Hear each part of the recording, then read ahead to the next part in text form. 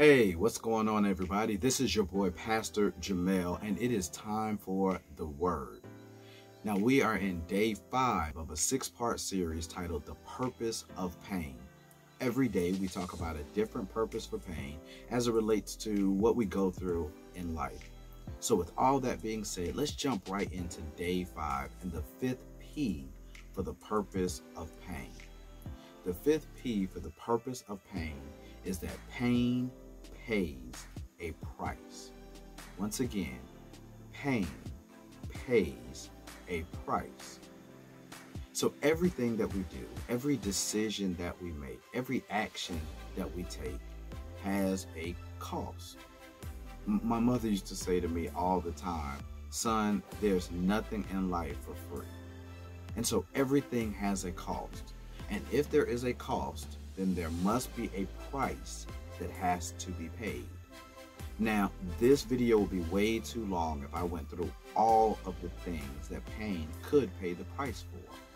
But one of the things that we see very clearly in the Bible is that pain pays the price for sin. In the Old Testament in the Bible, we see several examples of individuals making sacrifices to God to pay the price for sin. There was even an offering called the sin offering. Now, this offering and this sacrifice could be done for an individual or for a community. But ultimately, that sacrifice paid the price of sin for that individual or for that group. Now, while there was pain, of course, on the part of whatever was being sacrificed, there's also an element of pain as it relates to the individual making the sacrifice. See, you couldn't just choose any animal to sacrifice. I mean, if so, I would probably choose a cow or a bull that's on its last leg. It's going to die anyway pretty soon. So that's what I'll give. I'll, I'll give this old, um, almost about to die bull as uh, as a sacrifice to God, as a payment for the price of sin. But there were very specific animals that had to be used. Sometimes it would be uh, a female goat, which would affect the amount of milk that we could make for our family, or a young male bull who could impregnate several other cows and increase my livestock, which was a, a kind of a sign of you know how well you're doing is by how much livestock you had. And so there was an element of pain as it relates to the individual making the sacrifice. But the sacrifice, the pain of that sacrifice, paid the price for the cost of sin. We see that even more in the New Testament when Jesus comes and pays the ultimate price to pay for the sins of the world. And I would imagine there's also an element of pain on the individual making the sacrifice. We see in John 3:16 that it says it begins with for God so loved the world that he gave his only begotten son. The idea of giving your only son to pay the price for the sins of the world, I could imagine was difficult at best. And so pain pays the price, pays the price for sin.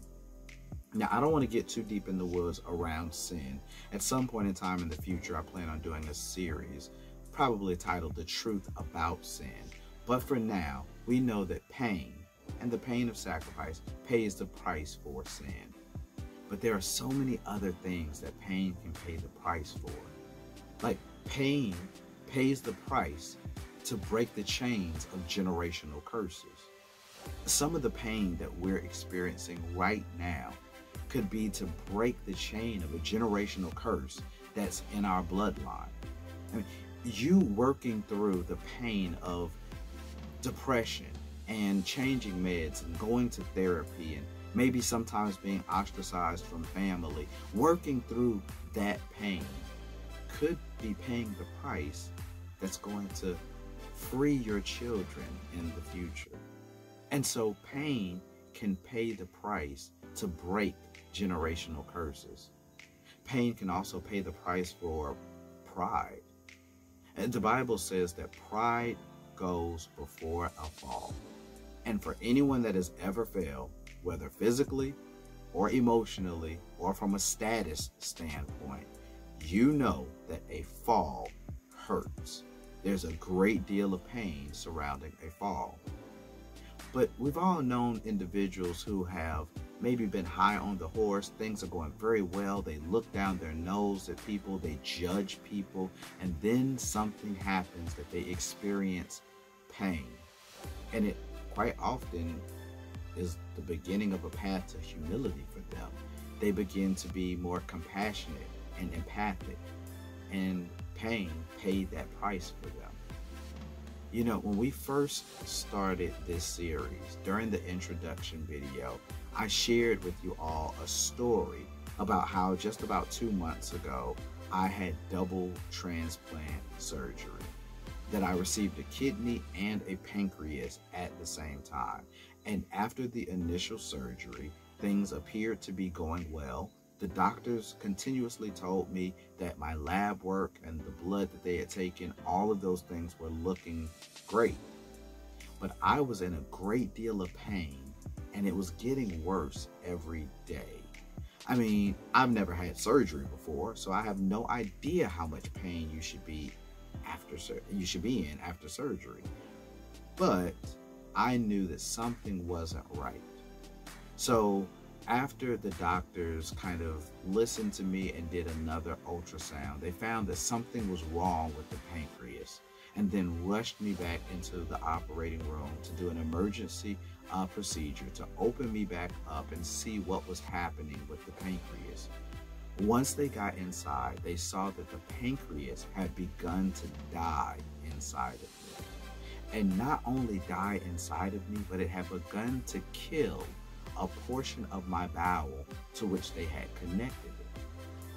See, the pain of losing the pancreas ultimately paid the price for my health and for my life. Understand that I desperately wanted the pancreas. It was the thing that was going to change my life so that I wouldn't be diabetic anymore. But the sacrifice of the pancreas is what helped increase my health and probably ultimately saved my life. Pain pays a price. And even in the Bible, we saw that that price could be paid for an individual or for others. The pain that we are experiencing is paying a price. Now, I don't know what price is paying for you or for what purpose that will be something that you'd have to pray for discernment about.